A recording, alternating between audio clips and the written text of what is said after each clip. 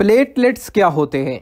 Platelets इंसान के खून के अंदर गर्दिश करते प्लेट की शक्ल के छोटे छोटे जर्रे होते हैं, जिनके गिर्द झिल्ली होती है। इनका काम जिसम से खून की इनखला को रोकना होता है। प्लेटलेट्स बुनियादी तौर पर ब्लेडिंग को प्लग करते हैं। ये खून के साथ साथ गर्दिश करते रहते हैं और कहीं भी कट या खराश लगने की सूरत में वहाँ जमा होकर क्लॉट यानी के खून का लोथड़ा बना लेते हैं। प्लेटलेट्स क्या काम करते हैं? इसको यूँ भी समझा जा सकता है कि प्लेटलेट्स छोटी छोटी ऐसी प्लेट्स हैं जो किसी भी जगह जहाँ खून का अखराज हो, उस मुकाम पर पहुंचकर वहाँ बंद बाँध देते हैं। खून का ये अखराज अंदरूनी भी हो सकता है और बैरूनी भी। बैरूनी तौर पर जिसम पर जख्म आने की सूरत में बहने वाला खून और ऐसी खराशें या जख्म जो अंदरूनी तौर पर आते हैं।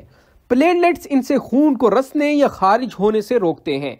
डॉक्टर ज़फ़र इकबाल के मुताबिक ये अमल इंसान के जिसम में जारी रहता है।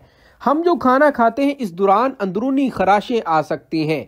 या जैसा कि अगर सर पर चोट आए तो दिमाग के अंदर बहुत नाजुक कैविटीज होती हैं और अगर वहाँ अंदरूनी तौर पर खून का अखराज हो तो उससे नुकसान हो सकता है। अब नाजरीन, प्लेटलेट्स की कमी से क्या नुकसान हो सकते हैं? प्लेटलेट्स की गैर मौजूदगी में खून दिमाग में जमा होना शुरू हो जाएगा।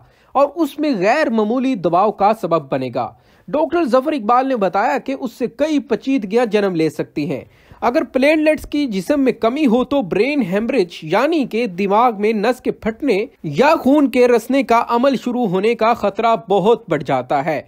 वो बताते हैं कि यही वजह है कि एक सेहतमंद जिसम में प्लेटलेट्स की तादाद डेढ़ लाख से साढ़े चार लाख तक होती है।